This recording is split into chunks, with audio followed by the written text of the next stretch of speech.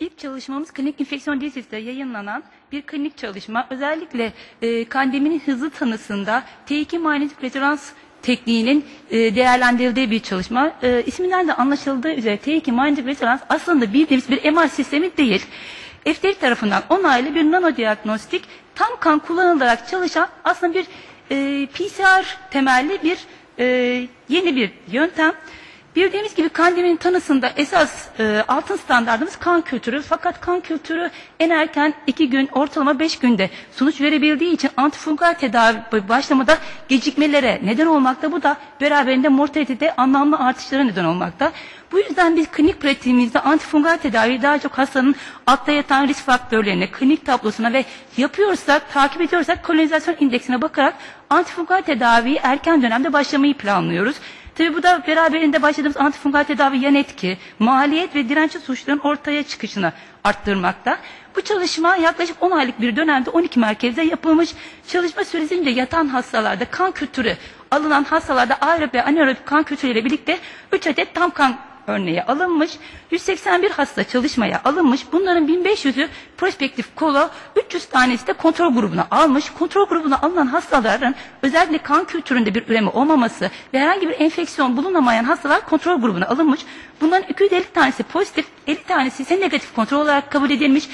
250 pozitif kontrol grubuna e, belli miktarlarda araştırılan kandida suçları belli miktarlarda eklenmiş. Candida albicans, glabrata, parapsilosis, tropicalis ve cruzi. Sonuçta baktığımızda her iki grubunda e, demorfik özellikleri, altta yatan hastalıkları benzer şekilde yapılan çalışma sonucunda 31 hastada e, farklı sonuçlar elde edilmiş. Bunların iki hastada kan kültürü pozitifken T2 MR tekniği negatif saptanmış. Bu hastalar incelendiğinde kan kültüründe kandida albicans üremiş. Bu hastaların ikisi de onkolojenik hasta olup santral venöz kateterleri oldu ve kan kültürü alınmadan önce hastalar antifungal tedavi başlandı ve santral venöz kateterden tam kan örneği alındığı fark edilmiş. Diğer geri kalan 29 hastanın ise kan kültürü negatifken T2 MR sistemi pozitif sinyal vermiş. Bu hastaların bir tanesinin URTC kriterlerine göre daha sonra kandidiyalisis kesin kandidiyalisis tanısı konulmuş. Bir hastanın da intraabdominal enfeksiyon olduğu için alınan abdominal doku kültüründe kandidiyalikas üretilmiş. Üç hastanın solunum yolu örneğinde bir hastanın ise idrar yolu örneğinde kandida üredi belirtilmiş. Sonuçta bu testin e, sensitivitesine bakıldığında %91 oranında saptanmış. Spesitesi de yine 98 %98 oranında saptanmış. Eğer hastalık prevalansını %5 ile 10 arasında kabul edersek bu testin pozitif prediktif değeri %71 ile %84 arasında değişmektedir. Sonuçta T2 MR sistemi etkenin önceden izole edilmesine gerek olmadan direkt tam kan örneğinden çalışan yaklaşık 4.2 saat içerisinde bize sonuç veren tam otomatize bir sistem ve e, sistemin patojen saptama limiti çok çok düşük. E, tropikalis ve krize için mililitrede bir koloniformik ünit, albikans ve glabrata için 2, parapsiloris için 3 ünite olması yeterli olduğunu belirtiyor yazarlar. Sonuçta bu yöntem antifungal tedavi başlama seçimimize e, uygun bir seçimimizi arttırmakta, kandemeye bağlı mortaliteyi, ampirik antifungal tedavi e, kullanımımızı azaltmakta, dirençli suçların instansını, yan etki ve maliyeti belirgin şekilde azaltılacağı yazarlar tarafından belirtilmekte. İkinci çalışmamız özellikle e, JAK'ta yayınlanan bir çalışma. Komplike intraabdominal enfeksiyonlarda yeni çalışmaya başlanan septozan tozobaktan metnozol kombinasyonuyla ile menopenem tedavisine e, çok merkezi çift gör randomize faz 2 çalışma şeklinde intra, komplike intraabdominal enfeksiyonlarda karşılaştırılmış. E, bu çalışma bir yıl süre boyunca 5 ülkede 35 merkezde sürdürülmüş. Sefterizon dediğimiz gibi yeni çıkan bir sefalosporin grubu ilacımız bakterisel etkinliği var. En önemli özelliği antipisitomal ve GSVL pozitif enterobakteriyelere karşı etkinliği olması. Bu ilaç üzerinde hala komplike üriner sistem enfeksiyon ve sağlık bakımı ilişki pnömoni ile ilgili faz çalışmaları bu ilaç üzerinde devam etmekte. Bu çalışmada e, randomizasyon ikiye bir şekilde yapılmış. Birinci gruba sefalozon 1 gram, tozobaktan 500 mg içeren kombinasyondan 3 çarpı 1,5 gram beraberinde hastaların yaklaşık %95'i metronidolda 3 çarpı 500 mg almış. İkinci grup ise nöropenem 3 çarpı 1 gram almış. Tedavi süresi ortalama 4 ile 7 gün planlanmış. Fakat kaynak kontrolü sağlanamayan hastalar için 14 güne kadar uzatılmış. Tabii komplike, komplike intraabdominal enfeksiyon tanımı çok önemli olduğu için çalışmada bunu özellikle belirtmek istedim. Çalışmaya kimleri dahil etmişler? Bütün her türlü abdominal enfeksiyon alınmamış. Ee, özellikle laparotomi, laparoskopi, cerrahi ve perkütan drenaj yapılan hastalar, rüptüre ve perföre kolesistit, gangrenöz kolesisti olan perföre apantisitleri, 24 saatten fazla süre opera edilen duodenal perforasyonlar, 12 saatten daha fazla sürede opera edilen bağırsak perforasyonu ve ameliyat sonrası veya sekon e, postoperatif peritoneal gelişen hastalar çalışmaya alınmış. Kimler alınmamış? Lokopenik, trombositopik olanlar hastalar, hepatik yetmezliği olanlar, gebeler, immünsepesif hastalar e, ama çalışmaya alınmamış. Sonuçta çalışmada e, gruplandırmalar yapılmış. Pardon. E, bakıldığımızda ilk önce 122 hasta çalışmaya alınmış fakat bir hasta çalışma ilacını almadığı için 121 hasta alınmış. Bu hastalar 121 hastanın 35'inde herhangi bir patojen saptanamadığı için mikrobiyolojik olarak toplam 86 hasta değerlendirilmiş. Çalışma kriterlerini 10 hasta 16 hasta karşılamadığı için toplam 105 hasta orada dahil edilmiş ve bu 105 hastanın 28'inde üretilen etken e, çalışma ilaçlarına dirençli olduğu için mikrobiyolojik takip edilen 77 hasta çalışmaya takip dahil edilmiş. Çalışmanın primer amacı tedavinin sonunda 7-10 gün sonra klinik yanıt nasıldı? Sekonder amacı ise mikrobiyolojik yanıt ve ilacın güvenilirliği şeklinde. Sonuçta bu bir eş değerlilik çalışması. Ee, bakıldığımızda hastanın klinik başarı e, mikrobiyolojik kanıtlanan hastalarda %83.6, meropenem grubunda %96, e, mikrobiyolojik olarak takip edilen hastalarda %88.7 olarak e, saptanmış. Sonuçta bu e, seftrozon e, seftrozon tazobaktam ilacı Klebsiella, Pseudomonas ve E. coli'lere karşı yüksek oranda etkin olarak gözlenmiş. Yan etki olarak bakıldığında da her iki grup arasında anlamlı bir fark görülmemiş, benzer şekilde hesaplanmış. Sonuç olarak yazarlar şunu belirtiyor. Komplike intraabdominal enfeksiyonlarda seftrozon tazobaktam metnozol kombinasyonu tedavisinin klinik ve mikrobiyolojik sonuçları meropenem tedavisine eşdeğerdir. Ee, bu kombinasyon komplike intraabdominal enfeksiyonlarda gelecekte güvenle kullanabileceğini belirtmekte ama faz 3 çalışmaları da devam etmekte bu konuda. Diğer çalışması Lancet'te yapılan bir çalışma. Toplumdan kazanılmış pneumonili hastaların tedavisine prednizon tedavisinin eklenmesiyle ilgili yapılmış çok merkeze çift gör randomize plasebo kontrollü bir çalışma. Ee, bu tedavinin acaba kortikosteroid eklenmesinin hastalarda klinik stabilleşmeyi kısaltıp kısaltılmaması e, araştırılmış. Yaklaşık 4 yıl süre boyunca İsviçre'de 7 merkezde yapılmış. Çalışmaya 18 yaşından büyük hastaneye yatış gerektiren toplum kökenli pnömoni hastalar alınmış. Toplum kökenli pnömoni tanısı koyabilmek için, viral pnömoniye atlamak için nazal swaplar alınmış. Kan ve balgam kültürleri alınmış ve İsviçre guideline'ına göre toplum kökenli pnömoni tanısı konulan hastalara amoksiniklavik asit tek başına veya seftriakson başlanmış lejyonella şüphesi olan hastalarda klaritromycin eklenmiş. Tabi klinik stabilizasyon primer sonuçları olduğu için on her hastalar her 12 saatte bir bir hemşire tarafından değerlendirilmiş. Ayrıca bundan başka hastaların 1, 3, 5. ve 7. günlerinde ve taburculuk öncesi e, rutin tahlilleri yapılırken kan şekeri steroid verildiği için kan şekerleri de günde 4 defa takip edilmiş. Tabii kimler alınmamış? Gebe olanlar, IV drug olanlar, immünsüpresif hasta olanlar, son 3 ay içinde giz kanama öyküsü olan, adrenal yetmezliği olan ve günde kiloya 0,5 miligramdan fazla steroid ihtiyacı olan hastalar çalışmaya dahil edilmemiş. Randomizasyon birebir olarak yapılmış hastalara prednizon 50 miligram tablet 7 gün boyunca verilmiş. Klinik stabilleşmeyi tanımlarken şöyle tanımlamışlar. 24 gün 24 saatten fazla süre boyunca ateşin 37.8'den düşük, nabzın dakikada 100'den az, solunum sayısında dakikada 24'ten küçük olması istenmiş. Kan basıncının 90'dan fazla, hipertansiyon hastaları için 100 mm civadan fazla, hastanın gelişine göre mental durumunda düzelme olması, oral alımının başlaması ve hoda basında yeterli oksijenizasyonun olması klinik stabilizasyon bulguları kabul edilmiş. Bunlardan herhangi biri karşılanmıyorsa stabilizasyon yok olarak çek liste yapmışlar. Sonuçta her iki grupta da herhangi bir e, farklılık bulunmamakta, klinik durumları, demografik özellikleri, laboratuvar bulguları olaraktan hastaların yarısında e, pnömoni ciddiyet indeksine baktığımızda 4 ile 5 yani hastalar ciddi bir e, tablo içerisindeymiş. Tabii hepsinde ciddi komorbid hastalıklar var. Diyabet, e, kronik obstrüktif akciğer, e, böbrek yetmezliği gibi ciddi hastalıklar varmış. Klinik stabilizme süresine baktığımızda e, şu yeşil olan özellikle prednizon grubu, şu kırmızı olan plazebo grubu ve öz, bakıldığında prednizon grubunda klinik stabilileşme 3 günken e, plazebo grubunda 4.4 gün olmuş ve bu istatistiksel olarak anlamlı bulunmuş. Sekonder e, sonlama noktalarına baktığında birçok parametreye bakmış e, çalış, çalışanlar. E, has, hastaneden taburcu olma zamanı, pneumoninin tekrarlaması, yeniden hastaneye kabul edilmesi, yoğun bakıma alınması, yoğun bakımda kalma süresi birçok parametreye bakmışlar ama istatistiksel olarak, anlamlı olarak şunu bulmuşlar. Özellikle hastalarda e, hastaneden taburcu olma süresi prednizon grubunda 6 günken e, plasebo grubunda 7 ve intravenöz antibiyotik tedavi süresi e, e, steroid alan grupta 4 iken plasebo grubunda 5 olmuş ve bunlar istatistiksel olarak anlamlı bulunmuş.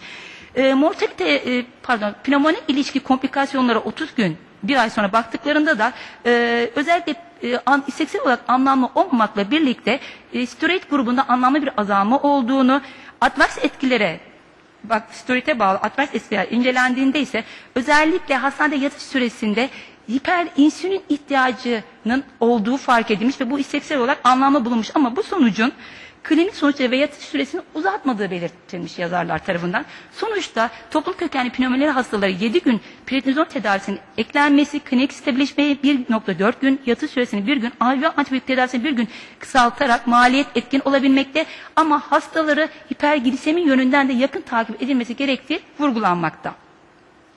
Diğer bir çalışmamız ise e, BMC enfeksiyon diyesitte yayınlanmış olan bir meta analiz.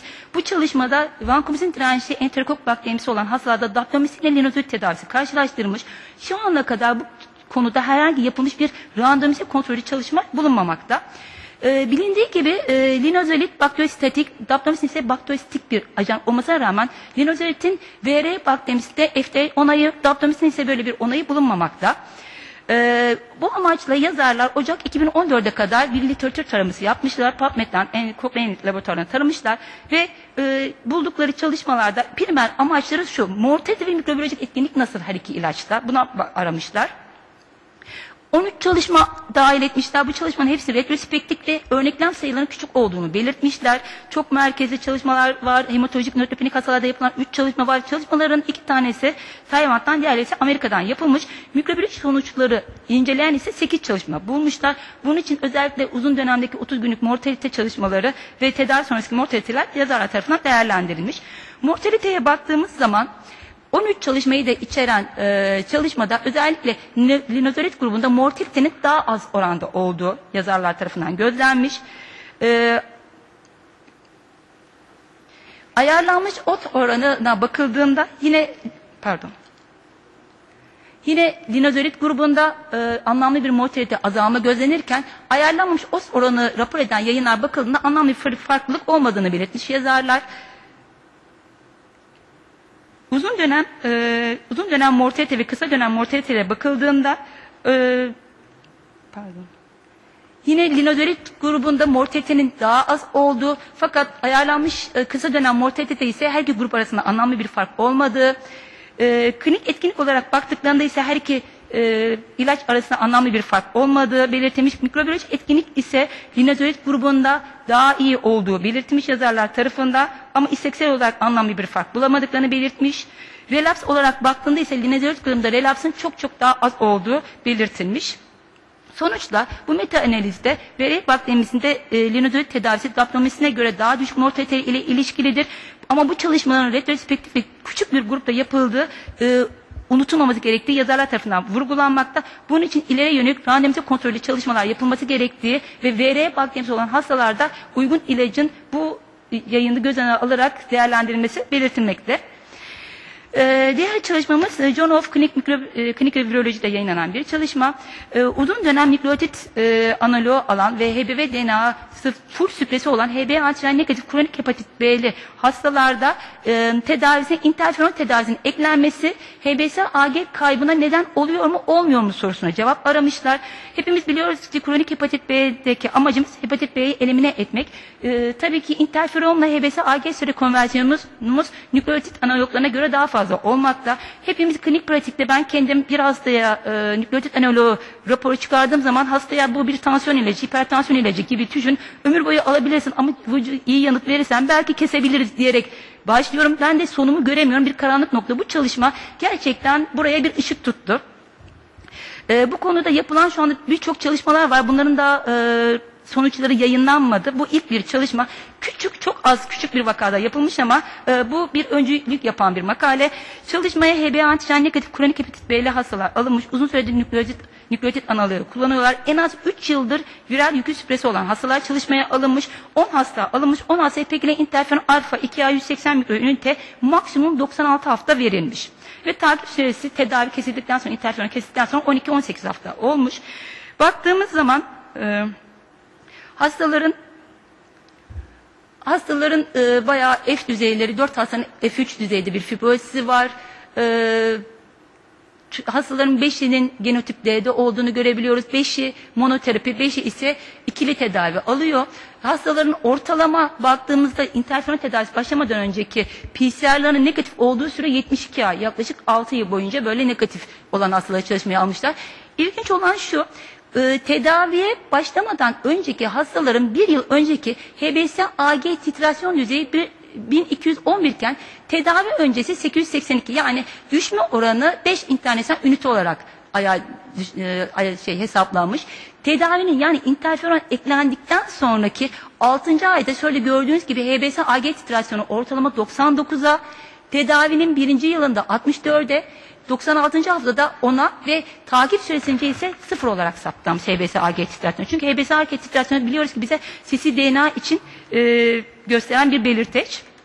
Sonuçta 10 hastanın şöyle gösterdiğimde 4 hastanın şu yeşiller ifade ettiğim 4 hasta hepsinin e, 48. haftada HBS AG titrasyonları negatifleşmiş. Oral antiviral ile birlikte epigile interferon tedavileri kesilmiş. Bir hastanın 96. haftada HBS AG titrasyonu negatifleşmiş ve tedavisi kesilmiş. Bir hastanın ise 96. haftada interferon tedavisi kesildikten 6 ay sonra HBS AG titrasyonu negatifleşmiş. Sadece şurada gördüğünüz gibi bir hastanın tedavinin 6. ayında interferon 6. ayında hala HBS AG titrasyonu yüksek seyrettiği için tedavi yarıda kesilmiş. Diğer 3 hastanın ise HBS AG titrasyonu düşmesiyle birlikte, düşme ile birlikte e, negatifleşmemiş. Sonuçta e, bu hastaların ayrıca iki tanesinde pardon iki tanesinde serokonversiyon gelişmiş. Altı hastanın iki tanesinde serokonversiyon gelişmiş. Sonuçta yazarlar diyor ki e, özellikle uzun süredir nükleotit analoğu ile tedavi eden tam viral yük süpresyonu olan HB antijen negatif kronik hepatit B'li hastaları 48-96 hafta pekili interferon eklenmesi tam iyileşmeyi sağlayabilir seçilmiş özel hastalarda ve HBS AG titrasyonunun kinetik azalması e, takip edilmesiyle interferon tedavisinin optimal süresi belirlenebilir. Fakat bunun çok merkezi çalışmalarla desteklenmesi gerektiği belirtilmekte. E, 2014'de e, özellikle yapılan birçok bu konuda birçok çalışma yayınlandı. Hepimizin bildiği için bildiği gibi beker mikrobiyota transplantasyonu çok gündemde olan bir konu. Ee, bu e, yayınla bu çalışmada ben özellikle hastane ve toplum kazan, toplumdan kazanmış kreatin difisle enfeksiyonu olan hastalarda fekal transplantasyonun kolonoskopi yoluyla yapılmasıyla etkinliği, güvenliliği ve hastaların memnuniyetinin karşılaştırdığı bir çalışmayı getirdim. Tabii fekal transplantasyon yapılacak olan donör hastaların özel olması istenmekte. Özellikle hastaların e, eşleri veya partnerlerinin alınması eğer bu yoksa birinci derece akrabalarından yapılması istenmekte. Donörlerin e, gayet incelemesinde herhangi bir paraziter veya bakteriyel bir enfeksiyonun olmaması, difislerinin olmaması istenmekte. Elizalar olarak hepatit A, hepatit B, hepatit C, HIV, e, helikobakter pylori ve e, sifilis yönünden de hastaların e, seronegatif olmaları istenmekte. Ayrıca donörlerin son 3 ay içerisinde antibiyotik kullanmaması, herhangi bir gastrointestinal semptomlarında olmaması istenmekte. Fekal mikrobiyota transplantasyon protokolüne baktığımızda tabii bu hastaların hepsi kreatin difisiyle aktif bir kreatin difisili enfeksiyon olduğu için ilaç kullanıyorlar. 48 saat önce hastaların antibiyotikleri toplanıyor. Hastaların kolonları 4 litre polietilen glikol solüsyonu ile lavaj yapılıyor. Dışkı örneği donörden işlem yapılmadan hemen önce alınıyor. Yaklaşık yarım saat önce alınıyor. Yaklaşık 50 gram dışkı 200 cc e, SF ile mikserde çırpılarak homojen bir karışım elde ediliyor. 60 mililitrelik enjektörlere yaklaşık 4-5 tane enjektör çekilerek kolonoskopi yöntemiyle çöküm ile çıkan kolona veriliyor.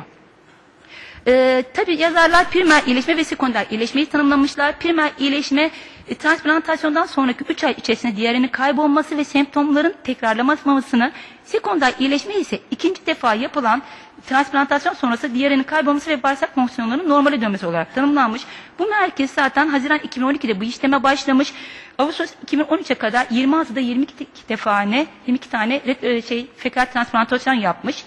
Ee, baktığımızda bu hastalığın 9 tanesi toplumdan kazanılmış, Clatridium difficile enfeksiyonu, 11'inde hastaneden kazanılmış enfeksiyon varmış. Hepsinde de altta yatan bir enfeksiyon ve buna bağlı ilaç kullanım öyküsü var. Hastaların hepsi metronidazol tedavisi ve tekrarlayan metronidazol tedavileri almış. Yine aynı şekilde tekrarlayan şekilde 2-3 defa vankomisin tedavisi almış. Hatta kurtarma tedavisi olarak da fitaksomin alan hastalar var. Özellikle hastaneden kazanılmış hasta, hastaların yarısı bu tedaviyi almış. Ne yazık ki hastaların çoğu e, eşlerinden e, tedavi alamamışlar. Primer yakınlarından e, transplanta edilmiş. Sonuçta e, başarı çok yüksek oranda görülmüş. Toplumdan kazanılmış e, difisilisi olan hastalarda yüzde yüz başarılı. Fakat hastaneden kazanılmış Clatridium difficile enfeksiyonu olan hastaların iki tanesi nüks olmuş. Bunları da yeniden transplantasyon yapmışlar ve ondan sonra da onlarda da yüzde yüz başarı elde edilmiş. E, hiçbir nüks saptanmamış. Hastaların hepsi yapılan bu prosedürden çok son derece memnunmuş. Sonuçta bu sistem yavaş yavaş Türkiye'mizi de uygulanmaya özel merkezlerde başlandı. E, difisile enfeksiyonda ve birçok inflamatuar bağırsak hastalığında birçok alanda kullanılıyor. Bu hasta kolay uygulanabilmesi, başarı oranının yüksek olması nedeniyle e, tercih edilecek bir model olarak düşünülmekte. Ee, diğer klinik infeksiyon dizisi yayınlanan diğer bir makalemizde ise e, multidrak resistans gram negatif pro, enfeksiyonlara bağlı prostatitte fosfomisinin e, yeri nedir diye araştırmış. Çünkü e, biliyorsunuz hepimizin başında bir dert olarak bir resistans pa- negatif gram negatif e, patojenlere bağlı e, üriner sem enfeksiyonlar ve buna bağlı prostatlarla hepimiz uğraşmaktayız. E, Artan klon diren, klonon direnci de e, hepimiz için bir sıkıntı. Çünkü klononları özellikle biz e, rektal, transrektal prostat biyopsisi yapılacak olan hastalarda profilaksi amacıyla birçok merkez kullanmakta. Fakat kinolon direncimiz çok yüksek oranda birçok merkezde. Aynı şekilde prostatit tedavisinde de biz kinolonları tercih etmekteyiz. Fosfomisin'i hepimiz biliyoruz, hepimiz kullanıyoruz. Eski bir ajan, üriner sistem enfeksiyonlarda kullanıyoruz ama prostat dokusuna ne kadar geçiyor konusunda yeteri kadar bilgi yok. Araştırmacılar bunu araştırmak istemişler. Ee, yaklaşık bir yıl süre içerisinde 26 tane turpeye yapmışlar. Hastalara cerrahi profilaksi amacıyla 3 gram fosfomisin vermişler. İşlemden önce vermişler. Kan örnekleri ve işlem sırasında hastaların idrar örnekleri almışlar. Prostat dokusunun iki bölümü transfer zonu ile periferal zonu dağılmış. Çünkü niye böyle yapmışlar? Ayrı ayrı incelemişler. Çünkü bu iki bölgenin kanlanması farklı olduğu için doku konsantrasyonunda farklı olacağını düşünmüşler. Ve likit kromatografi cihazıyla fosfomisinin konsantrasyonu ölçülmüş. Bakıldığında e, plazmada fosfomisin düzeyi 11.4 e, ölçülmüş.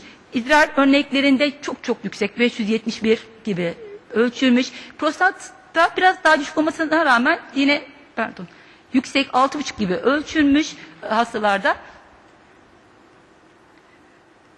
Sonuçta e, gerçekten araştırmacıların düşündüğü gibi e, prostatın her iki zonunda farklı konsantre, istatistiksel olarak anlamlı oranda farklı konsantrasyonlarda bulunmuş. E, özellikle transferal zonda iki kat, periferal zona göre iki kat fazla e, antibiyotik konsantrasyonu bulunmuş. Sadece bir hastada prostat dokusunda uygun düzeyde an- ilaç bulunamamış ama diğer hastaların hepsinde uygun konsantrasyonda fosfomisinin e, dokuya geçtiğini söylemişler. Sonuç olarak demişler ki tek doz fosfomisin e, inflamasyon olmayan prostat dokusuna yeteri konsantrasyonda, konsantrasyonda ulaşmaktadır.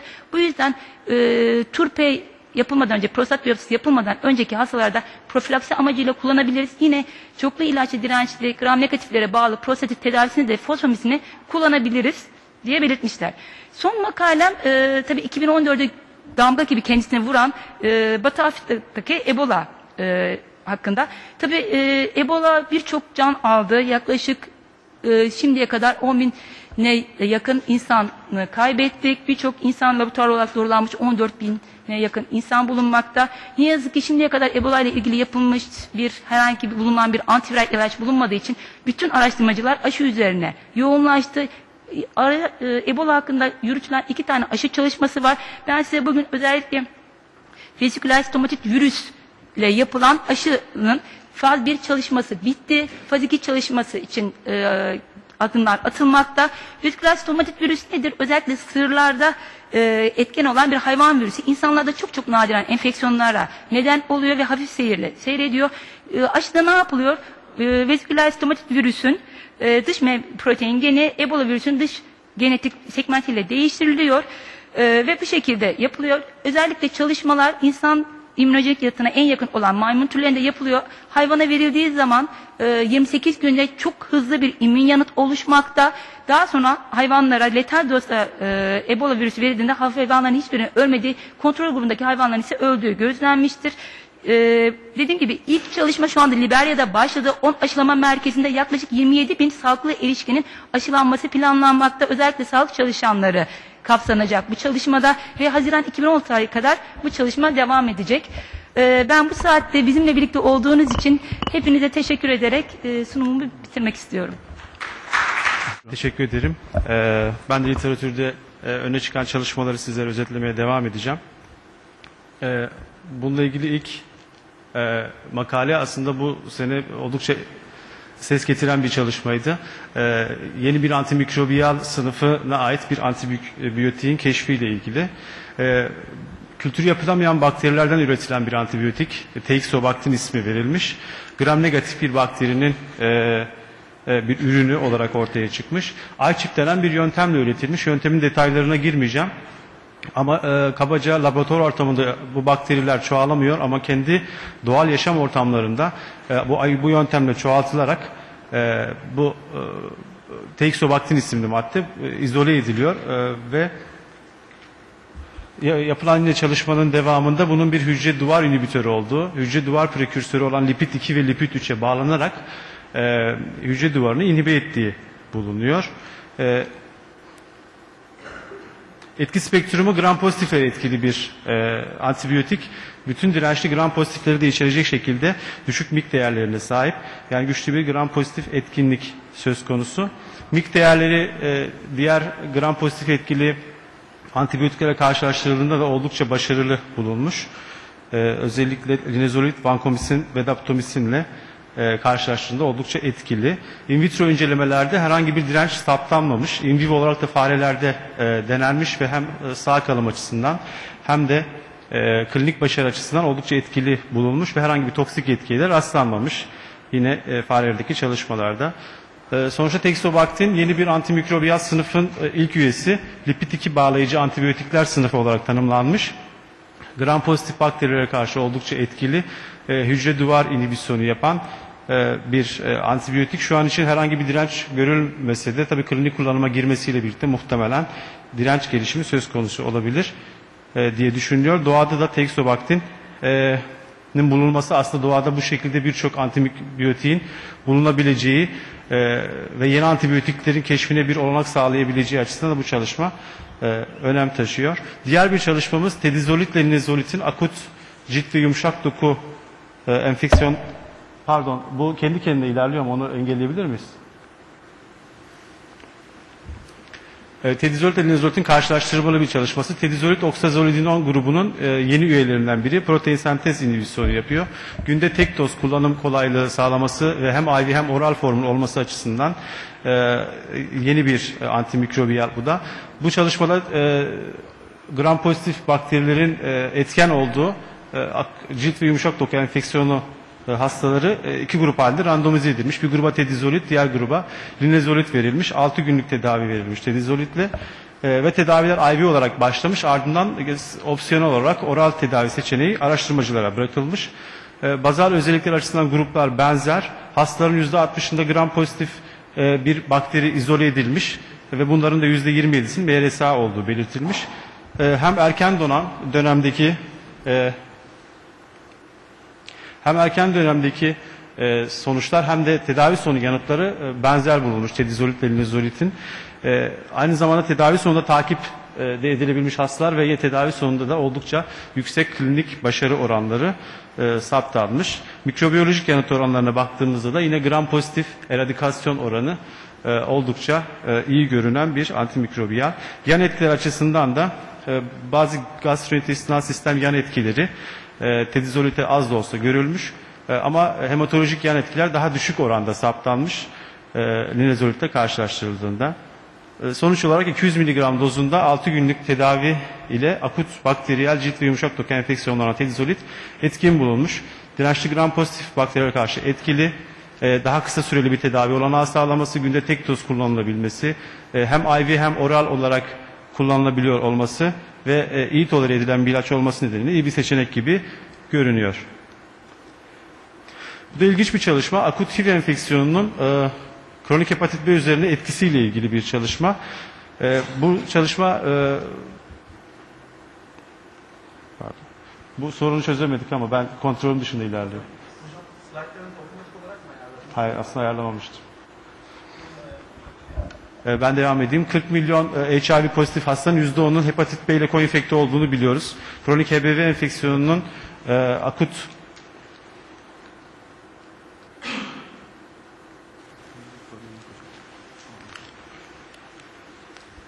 Evet, kronik, kronik e, HIV enfeksiyonunun immünsüpresif etkiyle akut e, kronik hepatit B üzerine olumsuz etkisi olduğunu gösteren çalışmalar var. Ancak akut HIV enfeksiyonunun kronik hepatit B üzerine etkisiyle ilgili çalışmalar, e, literatürde böyle bir çalışma yok. 2006 ile 2013 yılları arasında Çin'de yapılmış bu çalışma ve e, HIV negatif olan ama HIV açısından risk taşıyan erkek homoseksüeller prospektif olarak e, izlenmiş ve her iki ayda bir bu hastaların, bu kişilerin serumlarından anti-HIV ve HIV-RNA bakılmış ve çalışma periyodu sonunda e, 410 akut HIV enfeksiyonu gelişmiş bu popülasyon içerisinde. Bu e, 410 vakanın da 25'inin HIV kapmadan önce, HIV ile bulaş e, gerçekleşmeden önce e, kronik hepatit B aslında hastası da olduğu görülmüş ve hastaların akut HIV enfeksiyonu geçirdiği dönemdeki e, HBV DNA ve S antijen, E antijen durumları incelenmiş. Burada e, ilginç olan 25 hastanın 3'ünde akut HIV enfeksiyonu sırasında e, hem HBV DNA'da çok ciddi bir düşüş hem de S antijen kaybı gerçekleşmiş 3 hastada. E, 10 hastada ise e, E antijen kaybı gerçekleşmiş. Yine akut HIV enfeksiyonu döneminde e, hem HBV DNA'da çok ciddi bir düşüş hem de E antijen kaybı gerçekleşmiş. Geri kalan hastalarda ise yine e, viral yükte HBV DNA'da e, düşme var ancak e, antijen kaybı bu hastalarda görülmemiş. E, burada da herhangi bir antijen kaybı gerçekleşmeyen hastaların e, diğer hastalara karşılaştırması var. E, herhangi bir antijen kaybı olmayan hastalarda CD4 sayısının daha düşük, HIV RNA'nın ise daha yüksek olduğu, bunun da bir risk faktörü olabileceği belirtilmiş. Sonuç olarak akut HIV enfeksiyonu kronik HBV enfeksiyonunda hem S antijen hem E antijen kaybına yol açarak bir erken dönemde bir avantaj sağladığı e, görülüyor. E, Burada da büyük ihtimalle interferon alfayı da içeren sitokinlerin e, etkisinin olabileceği düşünülmüş. Diğer bir çalışma e, antimikrobiyal yönetim programının uzun süreli etkilisiyle ilgili bir çalışma. E, bu çalışmada 904 yataklı bir hastanede e, 2001 ile 2013 yılları arasında uygulanan bir antimikrobiyal yönetim programının etkisini görüyoruz. Neler yapılmış? 2001'de başlandığında e, bu işle özelleşmiş bir enfeksiyon uzmanı, bir eczacı e, sadece bu e, program için e, yer almışlar programda. Ardından bazı antimikrobiyal kısıtlamalar yapılmış. Klindamisin, siprofloxacin, e, yine elektronik bir bildirim sistemine geçmişler. E, daha sonra Clostridium difficile için e, daha duyarlı bir iki aşamalı teste geçilmiş. Ve bu şekilde önlemler alındıktan sonra bu 12 yıllık süre içerisinde antimikrobiyal kullanım oranının görüldüğü gibi belirgin bir şekilde düştüğü görülmüş. %62.8'lik bir kullanımda azalma olduğu e, saptanmış. Yine e, hangi antimikrobiyallerin kullanımının azaldığına bakmışlar ve özellikle sefalosporin genişletilmiş spektrumlu penisilinler, e, kinolonlar, e, klindamisin kullanımında belirgin azalma, antifungallerde yine belirgin e, kullanımda azalma olduğu e, görülmüş. Direnç oranlarına bakıldığında ise e, hem MRSA oranı, e, MRSA'nın 2003'ten e, 2013'e kadar e, düşüşünü görüyoruz. %56.7 gibi bir azalma görülmüş. E, Clostridium difficile'de ise e, özellikle 2003'ten 2010'a kadar %42 nokta bir azalma sağlanmış ama bu daha duyarlı bir teste, iki basamaklı teste geçince yeniden artarak e, eski değere tekrar ulaşmış. Aynı zamanda pseudomonaslardaki kinolon direncinde de çok belirgin bir düşüş e, var. Karbapenem direncinde de aynı şekilde pseudomonas ve karbapenem direnci düşmüş.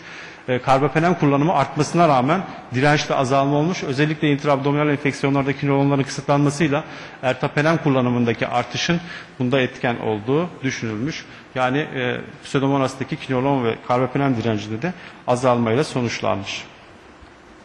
Bu çalışma özellikle antimikrobal yönetim programların uzun süreli etkisini göstermesi açısından önemli. E, Hem e, gereksiz kullanımı e, ortadan kaldırması hem de direnç oranlarını düşürmesi açısından önemli bir yol olarak ifade edilmiş yazarlar tarafından. Çocuklarda tüberküloz tanısında yeni bir yöntem olarak tanımlanıyor. T-cell activation marker TEM-TB testi olarak kısaltılmış. Afrika'da yapılıyor bu çalışmada. Özellikle tüberkülozun ve HIV'nin sık olduğu bir coğrafya olması açısından Afrika'da yapılıyor. Ee, ve daha önceki testlerden işte TB Gold test, e, kuantiferon testleri, e, bu gibi testlerin aktif ve latent tüberkülozu birbirinden ayırmadığı e, ama T-cell activation marker'ın bu anlamda önemli bir marker olabileceği düşünülerek bu çalışma planlanmış ve e, tüberküloz açısından şüpheli olan hastalar, tüberküloz açısından şüpheli olan hastalar e, Tanzanya'da e, çalışmaya dahil edilmiş 290'lık çocuktan oluşan bir kohorttan 130 hasta e, seçiliyor ve bu kişiler e, özellikle kültür pozitifliği saptanan kişiler bu çalışmada bu testin karşılaştırma testi olarak kullanılıyor. 113 hasta e, analiz ediliyor. Bunların 18'inde tüberküloz kültür testi pozitif ve bu kültür testi pozitif olan hastaların e, aynı zamanda bu marker açısından karşılaştırmasına bakılıyor. Burada kültür pozitifliği çıkan 18 hastayı görüyoruz. 18 hastanın 15'inde e, bu yeni testte TEM-TB-SA e, testi de pozitif e, sonuçlanmış. Yani e, %83'lük bir sensitiviteye sahip. E, tüberküloz olmadığı e, belirtilen 63 hastanın 61'inde ise test negatif çıkmış. Bu da spesifitesinde oldukça yüksek %96 gibi bir orana sahip olduğunu e, gösteriyor. Pahalı ve uygulaması zor bir test. E, özellikle ileri HIV e, hastalarında yanlış sonuçlar verebiliyor. Ancak hem sensitivite hem spesifitesi oldukça yüksek. Balgam örneği gerektirmeyen hızlı bir test olması açısından umut vadeci bir test. Ebola ile ilgili tabii çok fazla çalışma aslında var ama bunun sekonder etkileriyle ilgili bir çalışma özellikle ben paylaşmak istedim. Burada Ocak ayı itibariyle vaka sayısı bildirilmiş 8400 civarında e, mortal seyreden vakalar mevcut. E, Salgında giderek bir azalma var gibi görünüyor ama halen devam etmekte. Ee, özellikle e, burada vurgulanmak istenen şey Ebola'nın e, ön plana çıkmasıyla diğer sağlık sorunlarının çok e, geri planda kaldığı, özellikle aşı programlarıyla kızamığa bağlı e, ölümlerde çok ciddi azalmalar var. Aşıyla önlenebilen hastalıkların belirgin azaldığı yıllar içerisinde görülüyor. Özellikle Ebola'nın etkilediği bu üç Batı Afrika ülkesinde e, kızamık vakalarında çok belirgin azalma e, sağlanmışken bu tip e, afetler, bu tip salgınlarla bu vakaların tekrar arttığını e, ve bunun da bir takım e, olumsuz sonuçlar olabileceğini gösteren bir modelleme. Şimdi burada e, Ebola tanısı e, yani e- eğer Ebola salgını gerçekleşmeseydi 778 bin kızamık vakası 778 bin çocuk aşılanmazdı diyerekten bir tahmin yürütülüyor. 778 bin kişi aşılanmaz. Ama Ebola salgını nedeniyle bu aşılanmayan kişilerin sayısının 6. ayda 964 bin, e, 12. ayda 1 milyon ve e, 18. ayda 1 milyon 129 bine ulaşacağı. Bunun sonucunda da aşılanmamış çocuk sayısının artışıyla birlikte de hem kızamık vaka sayısında 100 bin civarında bir artış e, hem de e, 5200 ek mortal vaka kızamığa bağlı, sadece kızamığa bağlı ek mortal vaka ortaya çıkabileceği tahmin ediliyor.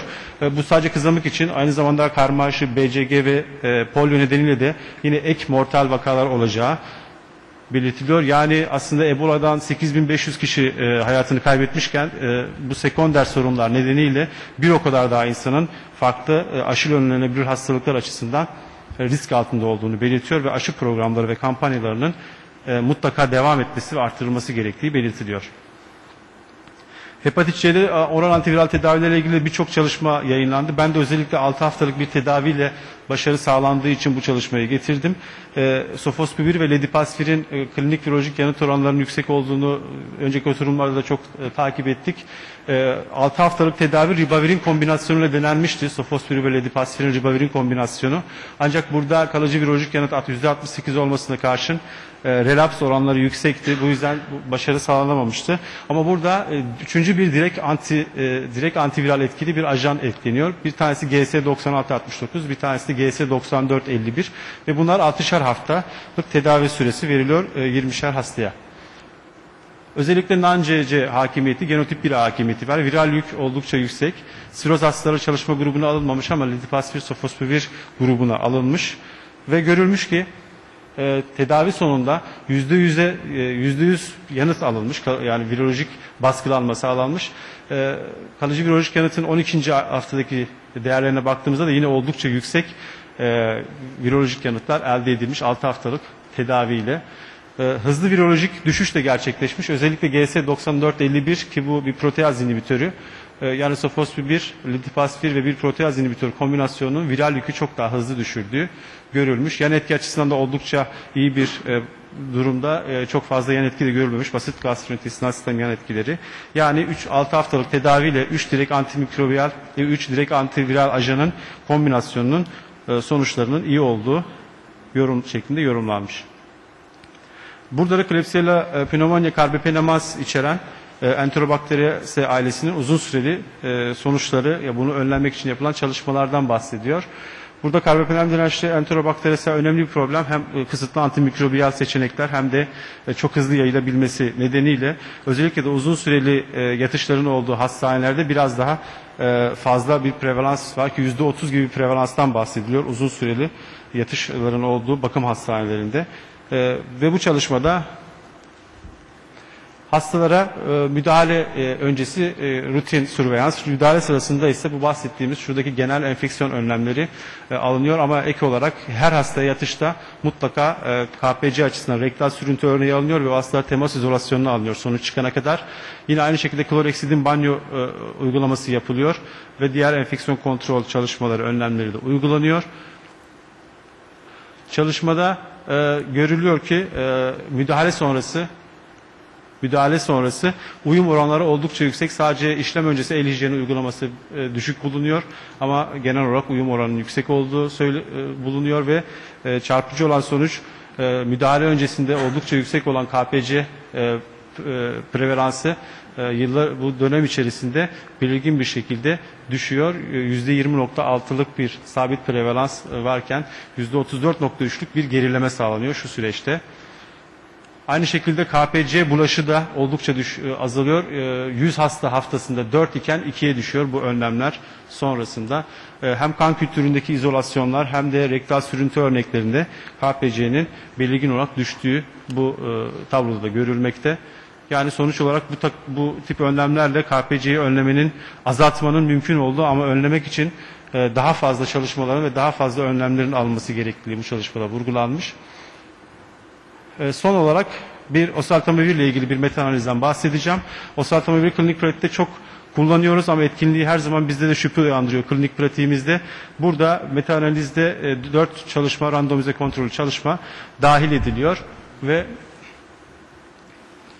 görülüyor ki oseltamivir kullanımı ile semptomların düzelme süresinde %21'lik bir kısalma e, gerçekleşiyor. Aynı zamanda alt e, solunum e, yolunun komplikasyonlarında %44 gibi bir azalma saptanıyor. Hastane yatış oranlarında %63 gibi bir düşüş görülüyor. E, Yan etki açısından hem e, bulantı hem kusma gibi gastrointestinal yan etkilerin de e, arttığı e, saptanıyor. Sonuç olarak bu çalışma sonunda da bu meta-analizde de oseltamivirin aslında klinik pratikte hem semptomları düzelme süresini hızlandırdığı hem de e, komplikasyonları azalttığı şeklinde bulunmuş. Ben teşekkür ediyorum. E, biraz kontrolün dışında gerçekleşti şey sunumun akışı ama e, dinlediğiniz için teşekkür ederim.